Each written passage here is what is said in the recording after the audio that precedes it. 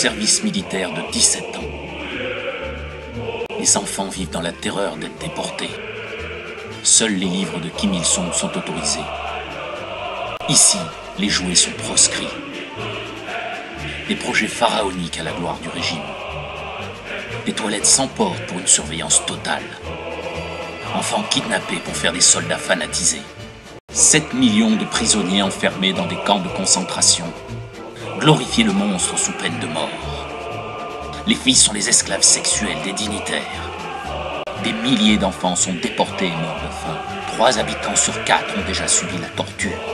97% de la population vit sous le seuil de pauvreté. Le peu de nourriture est réservé au chef du parti. Les femmes n'échappent pas aux travaux forcés. 1400 fidèles du dictateur travaillent dans son abri anti-atomique.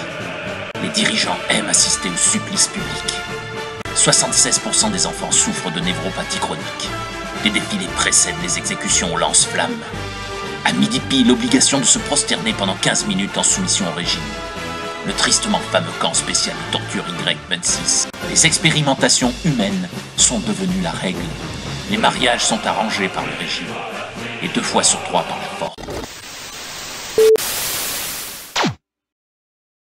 C'est insupportable, n'est-ce pas?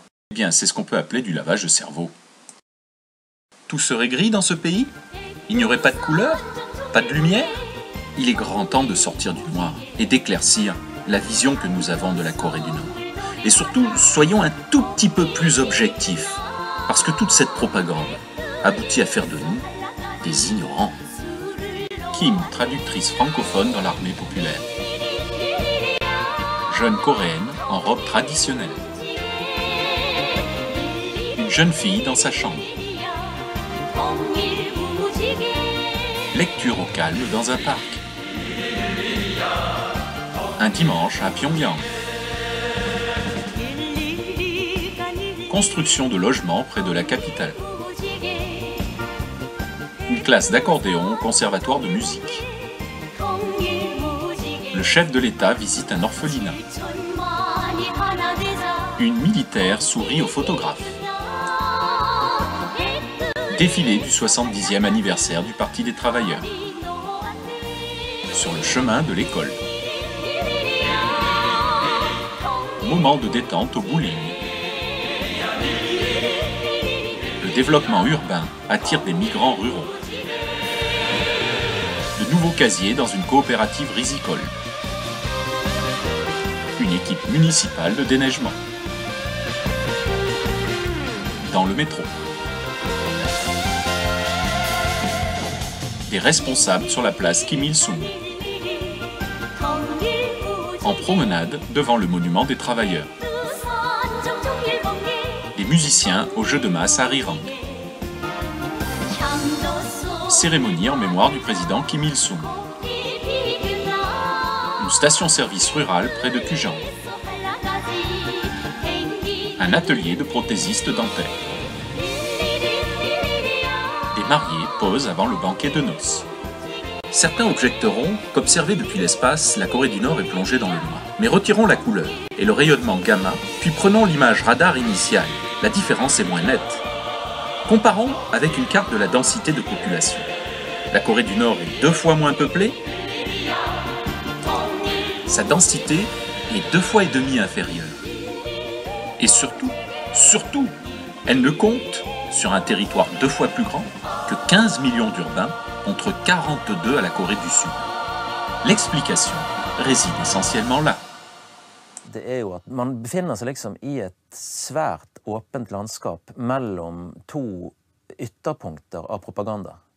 Du har den eh, statspropagandaen i Nord-Korea, som til enhver tid fremhever Nord-Korea som verdens beste land. Eh, du har den motstående propagandaen som vi utsettes for, som fremhever Nord-Korea som verdens vest verste land. Og mellom de to ytterpunktene så skal han da komme og prøve å forholde seg til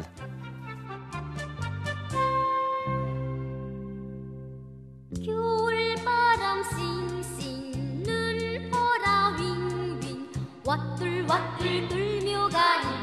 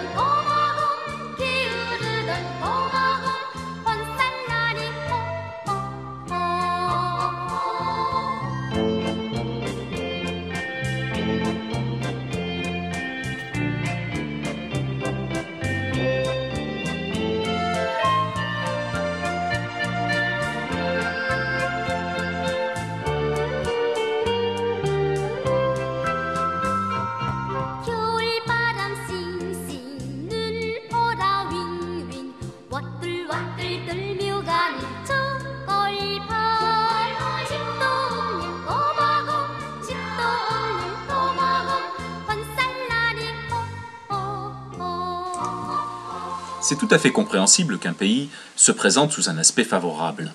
Par contre, asséner avec insistance qu'un État est un enfer sur Terre paraît moins clair. Il serait pourtant nécessaire de déterminer d'où proviennent les rumeurs, qui les propage, dans quel but, au bénéfice de qui, et pour servir quels intérêts. Parce qu'il ne faut surtout pas oublier que les deux principales revendications de la République populaire démocratique de Corée sont d'une part la signature d'un traité de paix avec la République de Corée et par-dessus tout la réunification de l'ensemble des Coréens dans un seul et même État.